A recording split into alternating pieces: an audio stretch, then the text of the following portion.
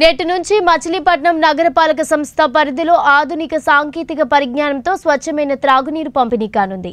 శుక్రవారం ఉదయం స్థానిక రాజుపేట కేశవరావు తోట ప్రాంతంలో నూతనంగా నిర్మించిన ర్యాపిడ్ శాండ్ ఫిల్టర్ సముదాయాన్ని మంత్రి పేర్ని నాని ప్రారంభించారు.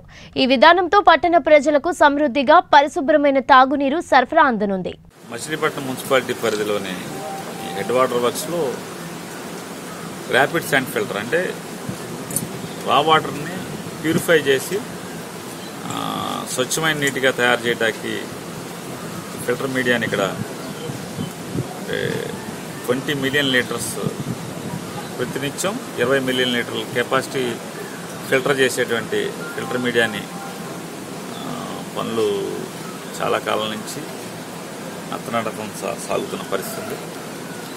గడిచిన ఎనిమిది ఎనిమిది మాసాలుగా ఆ, కాంట్రాక్టర్ని డిపార్ట్మెంట్ని పరుగు పెట్టించి ఎట్టి పరిస్థితుల్లో ఈ సమ్మర్లో దీన్ని ఓపెన్ చేయాలి దీన్ని వినియోగంలోకి తీసుకురావాలి ప్రజల వినియోగంలోకి అని చెప్పని గట్టిగా అందరినీ రిక్వెస్ట్ చేసి ఇంజనీర్లని అలాగే ఏజెన్సీని మోటివేట్ చేసి చేయడం జరిగింది.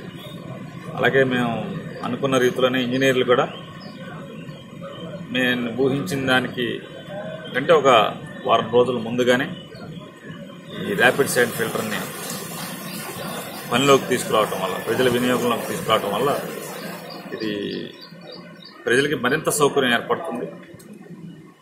తద్వారా ఇది పూర్తవటం వల్ల అలాగే ఆల్రెడీ మనకి ఒక సిక్స్టీన్ ఎంఎల్డి అంటే పదహారు మిలియన్ లీటర్లు ఒక రోజుకి ఫిల్టర్ చేసేటువంటి కెపాసిటీ ఉన్న పాత్ర ఉంది.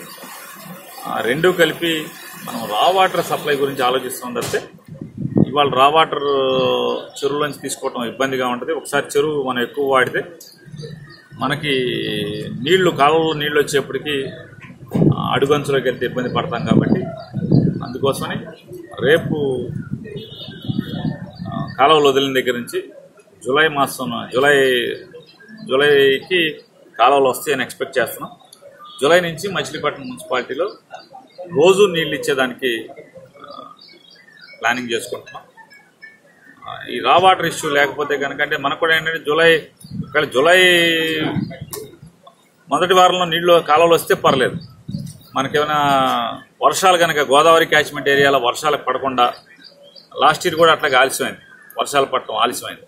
అలాగే ఈసారి కూడా మళ్ళీ లేట్ మాన్సూన్ వస్తే కనుక మచిలీపట్నంలో మనం ఇబ్బంది పడతాం కాబట్టి ఆ ముందు చూపు కోసం ఇవ్వట్లేదు. లేకపోతే ఇవాళ మనం ప్రతినిత్యం నీళ్ళు ఇవ్వటానికి సమృద్ధిగా దీన్ని తయారు చేసుకున్నాం.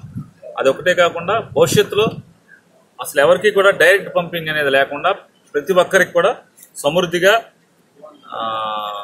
గంటసేపు మోటార్తో కానీ లేదా దీని కానీ ఇచ్చేసే వదిలేసేదానికి గంటసేపు అన్ని పేటల్లో నీళ్ళు ఇవ్వటానికి అన్ని పేటలకు కూడా రిజర్వాయర్లు ఏర్పాటు చేసేదానికి కూడా మరొక ఇరవై పాతి కోట్ల రూపాయలతో వర్కులు శాంక్షన్ కావాల్సి ఉంది. దానికోసం డిజైన్స్ తయారు చేసుకుంటున్నాం ఎస్టిమేట్లన్నీ